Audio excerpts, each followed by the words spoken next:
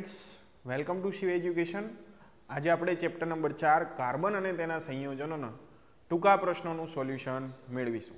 જો તમને આઈએમપી પ્રશ્નો આપ્યા હતા, એમાંથી કોઈ પણનો જવાબ ન આવડ્યો હોય, તો તમે આમાંથી જોઈ અને તૈયાર કરી શકો છો. વીડિયો સંપૂર્ણ અંત સુધી જોજો.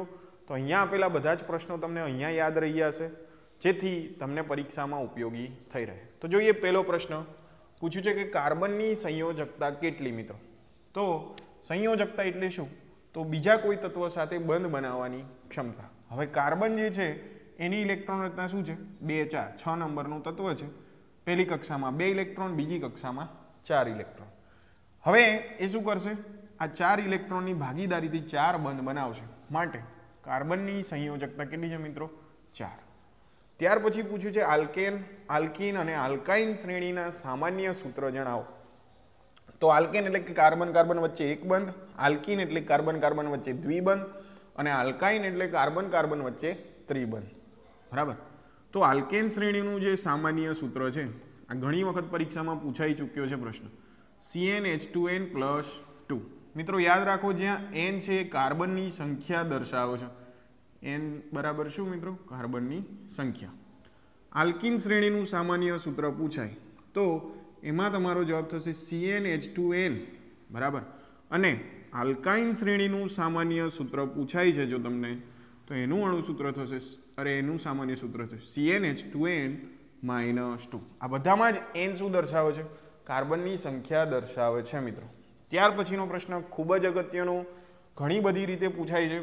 કીટોન, આલ્ડીહાઇડ, કાર્બોક્સિલિક એસિડ અને આલ્કોહોલના બંધારણ જણાવો. મિત્રો, યાદ રાખો કીટોન જે છે, એની અંદર કીટોનનું બંધારણ શું થશે મિત્રો? તો સી ડબલ બંધ ઓ ત્યાર પછી આપણને આલ્ડીહાઇડનું કીધું છે. તો આલ્ડીહાઇડનું બંધારણ શું થાય મિત્રો? તો સી એચ ઓ ત્યાર પછી આપણને કીધું છે કાર્બોક્સિલિક એસિડ. Carboxylic acid.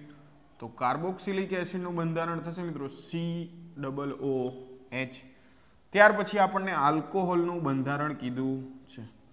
તો આલ્કોહોલનું બંધારણ શું થાય મિત્રો? ઓ એચ તો આ બધા જ ક્રિયાશીલ સમૂહો છે. આમાંથી તમને ગમે તે એક પરીક્ષામાં પૂછાય છે. તો તમે ખાસ તૈયાર કરી લેજો. બીજી રીતે કેવી રીતે પ્રશ્ન પૂછાય? કે બ્યુટેનોન ચાર કાર્બન ધરાવતું સંયોજન છે. તો તેમાં રહેલો ક્રિયાશીલ સમૂહ જણાવો.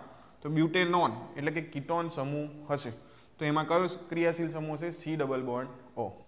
ત્યાર પછી આગળના પ્રશ્નો જોઈએ મિત્રો. શું કીધું છે? મિસેલ પાણીમાં શેની રચના કરે છે?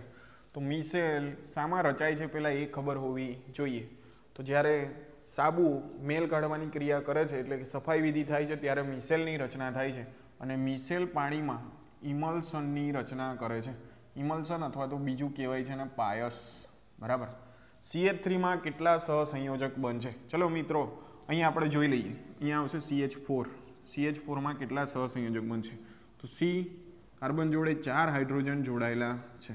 તમે તમે જોઈ શકો છો કેટલા બનશે? એક, બે, ત્રણ અને ચાર. તો કેટલા બંધ આવશે ચાર. ચલો, આવી રીતે તમને આવું પૂછાયું. સીએ થ્રી સીએ થ્રીમાં કેટલા સહસંયોજક બનશે? એટલે કે બે કાર્બન અને એક કાર્બન જોડે કેટલા હાઇડ્રોજન જોડાયેલા છે? ત્રણ. ચાલો, હવે તમે ગણતરી કરીને કહી શકશો. એક, બે, ત્રણ, ચાર, પાંચ, છ અને સાત. તો એમાં કેટલા સહસંયોજક બંધ થશે આ પૂછાય તો? સાત. આવી રીતે કોઈ પણ કાર્બનિક સંયોજનમાં તમે સહસંયોજક બંધ ગણી શકશો. વિનેગર શેનું દ્રાવણ છે? તો મિત્રો પાંચથી આઠ ટકા એસિટિક એસિડ ધરાવતા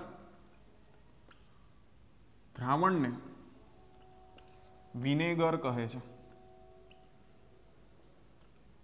અહીંયા એક શબ્દ ઉમેરી દેજો પાણીમાં પાંચથી આઠ ટકા. એટલે કે બાકી બધું પાંચથી આઠ ટકા સિવાયનું બાકી બધું શું હશે? પાણી. તો પાણીમાં પાંચથી આઠ ટકા એસિટિક એસિડ ધરાવતા દ્રાવણને શું કહે છે મિત્રો? વિનેગર કહે છે. ત્યાર પછીના પ્રશ્નો જોઈએ મિત્રો. તો આપણને શું કીધું છે? કાર્બન અને હાઇડ્રોજનથી બનતા સંયોજનોને શું કહે છે? તો મિત્રો, આમાં તમારો જવાબ આવશે હાઇડ્રોકાર્બન સંયોજનો. કયા સંયોજનો મિત્રો?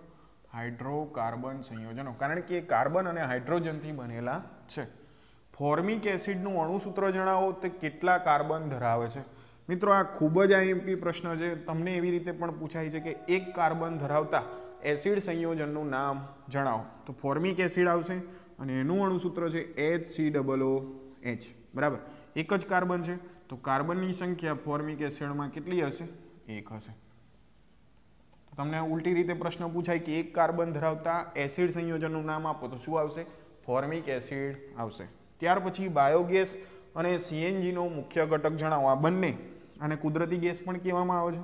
Compress natural gas. આ બંનેનો મુખ્ય ઘટક જણાવો તો આ બંનેનો મુખ્ય ઘટક છે સીએચ ફોર, જેનું નામ શું છે?